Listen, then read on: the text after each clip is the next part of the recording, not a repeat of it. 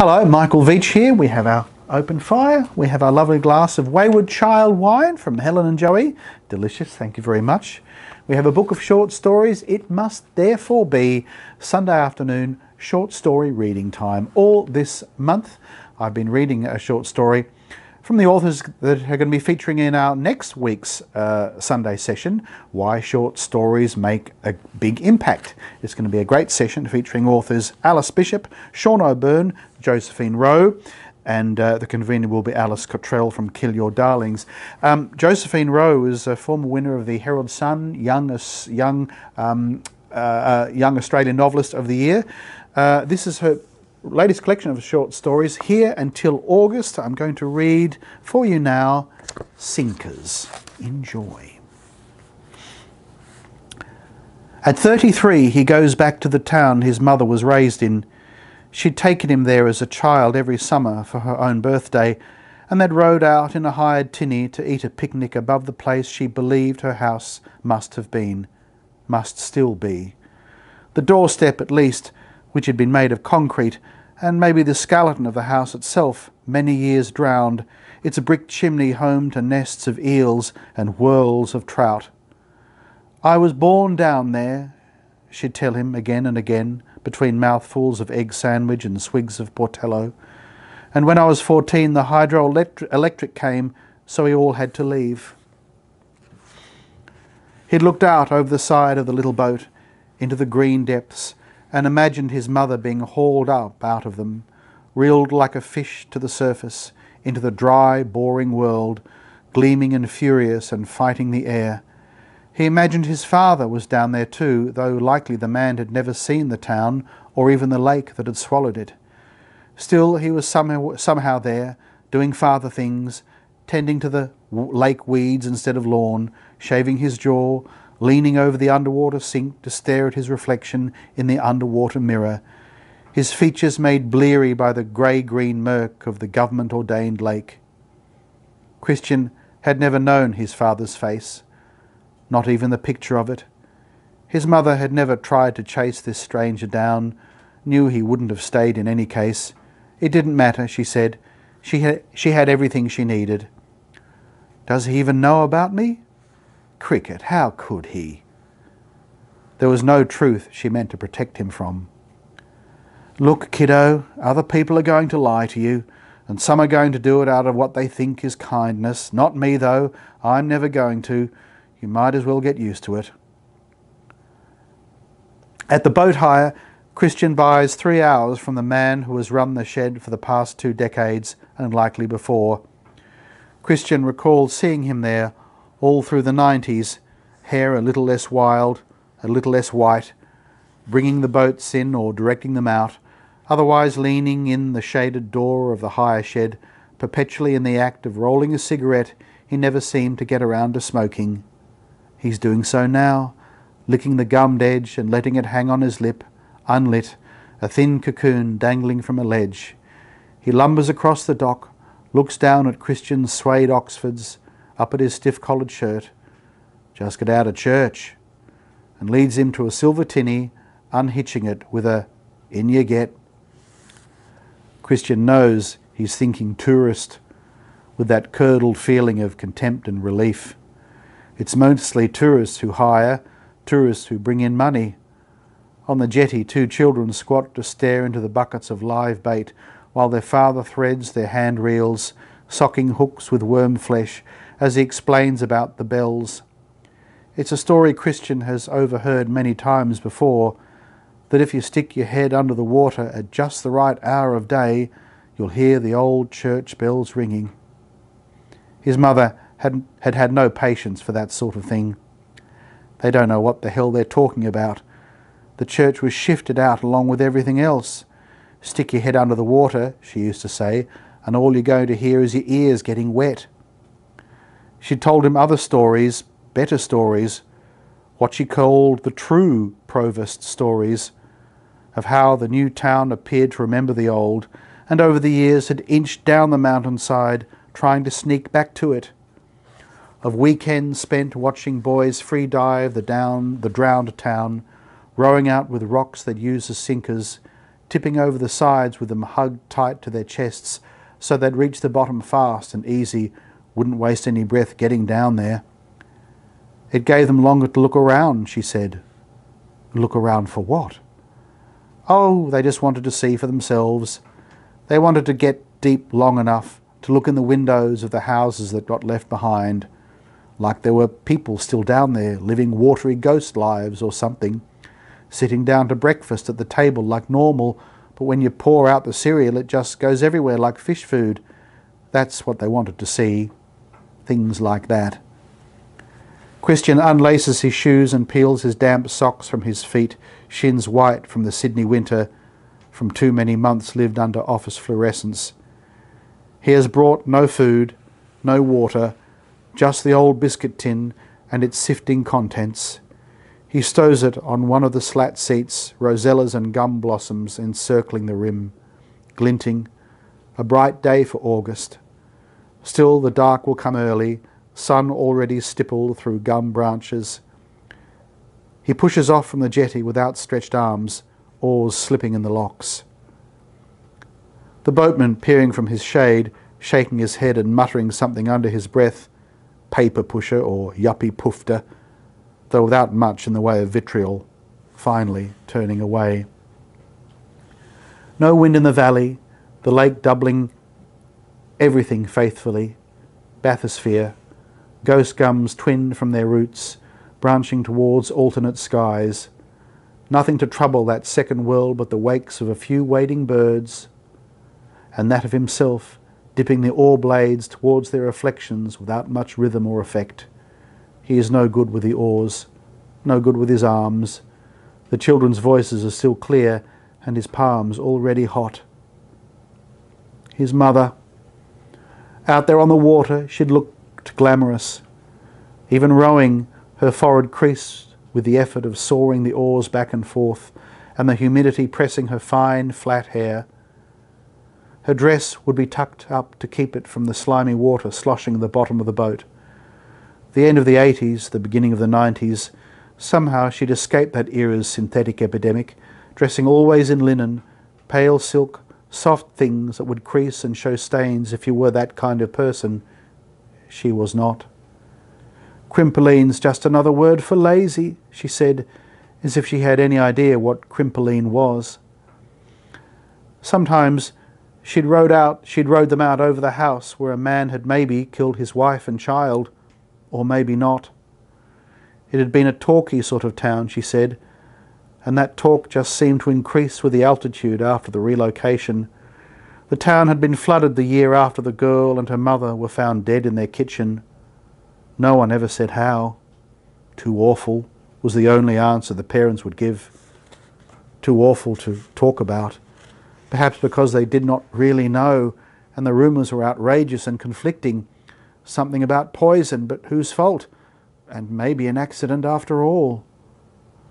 Most people's houses were trucked out of the valley up the side of the mountain, but that house was either too rickety or too sad, and it stayed where it was. The roof tiles were salvaged, but the rest was left to the flood. Christian's mother's house got left behind as well feasted on by white ants to which Christian's grandfather had been happy enough to surrender a three-year battle, knowing the termites' mingy victory would be short-lived.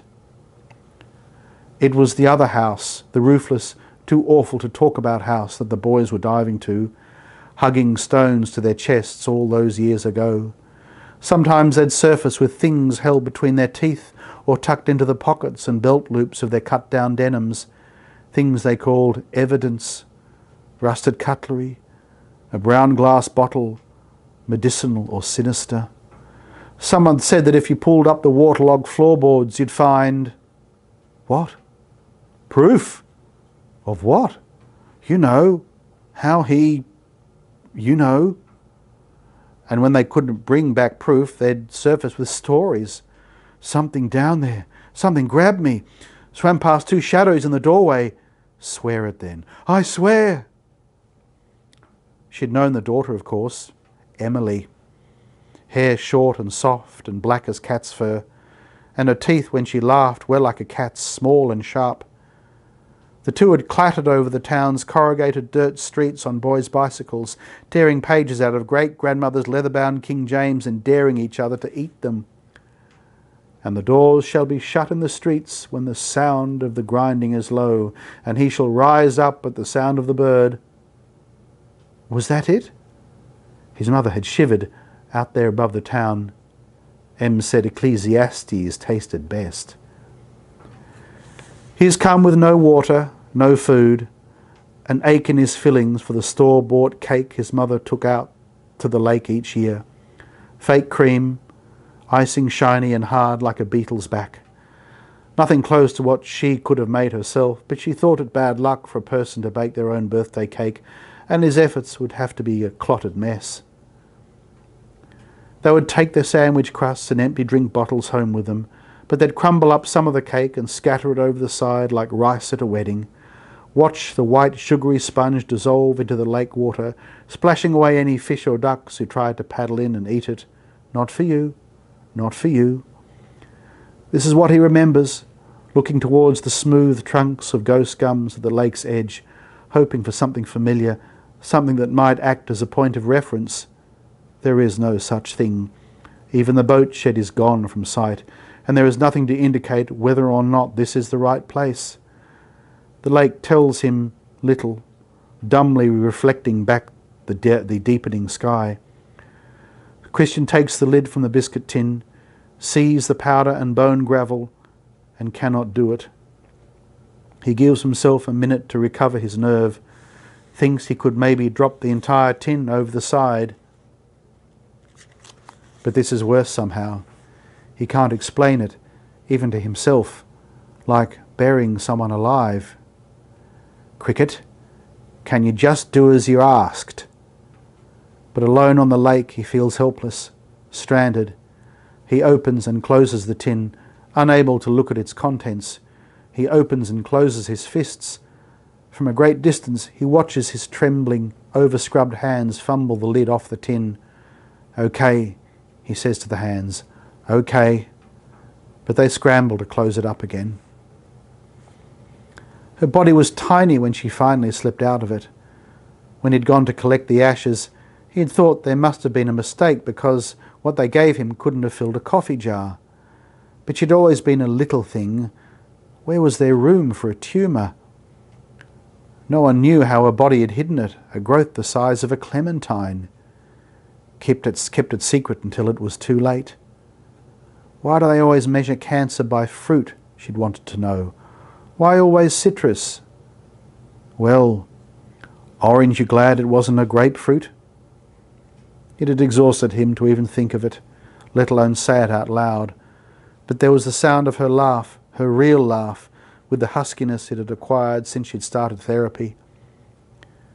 They were in her backyard that afternoon, under the loquat tree, the fallen fruit soft and rotting under their shoes. The air was boozy with ferment, and the effects of the chemo weren't yet too visible. She sat in a dining chair, a blue towel draped around her shoulders, it might have been a moment in which to pretend things were otherwise, but she'd seen the other patients around the ward, their hair falling out in great drifts, and decided that wasn't for her. You'll do it?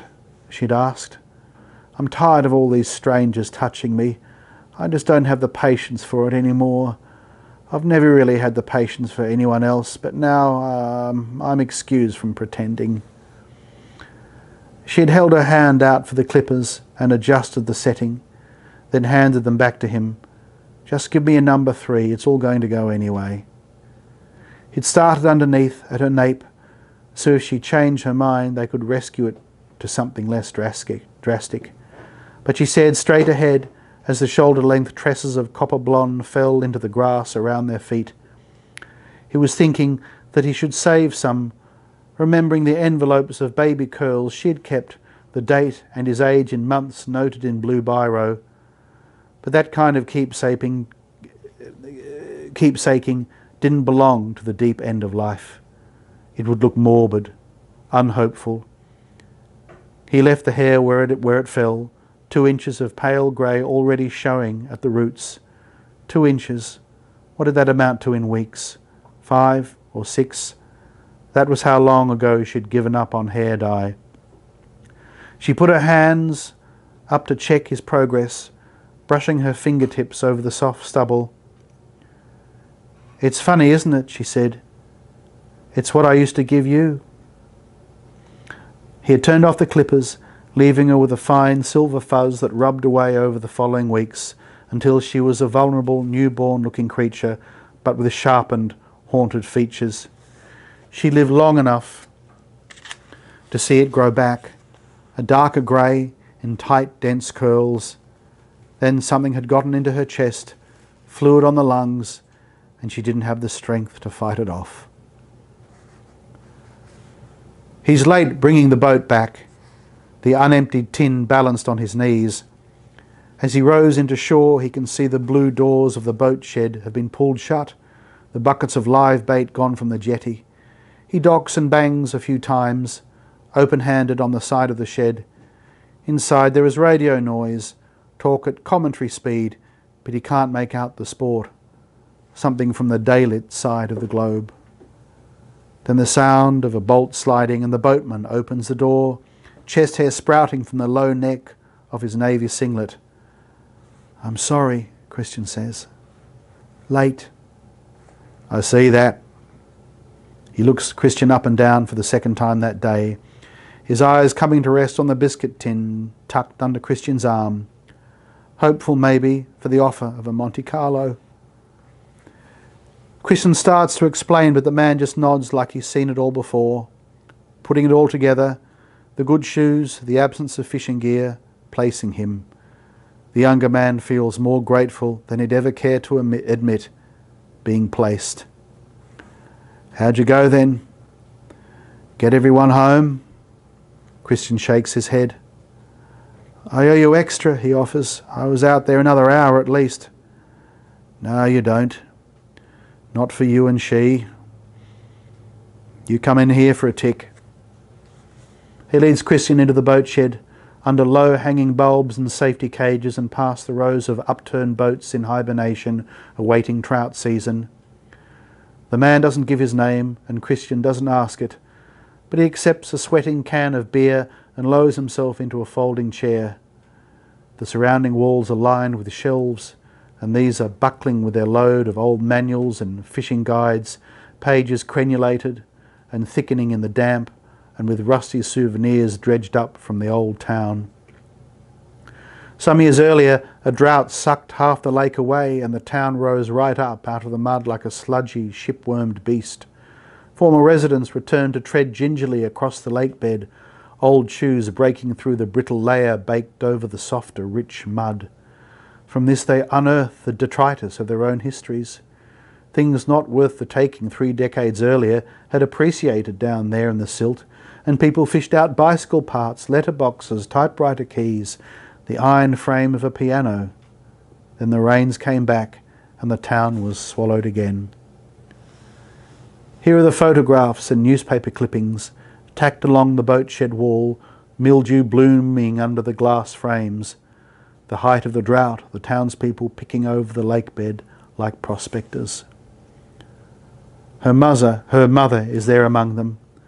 Like the rest, she'd put, an old, put on old shoes and walked out over the cracked mud across the knot lake, right up to the empty windows of that too awful house to see if the tables were still set. All she saw, she said, was a room full of rocks. Come on then, the boatman says. Are we going? Are we all set? And Christian hauls up, hauls himself up from the chair to follow. Outside the air is cool and heavy, the viscosity of water, and it can no longer be said where the lake and the night divide. Moon slapping boat flank as if to say, Go on, go on, go on. Here is a charge now, a change in the air, a resonance, Whatever comes after a bell has rung out and the sound has drifted away. Sinkers by Josephine Rowe from here until August.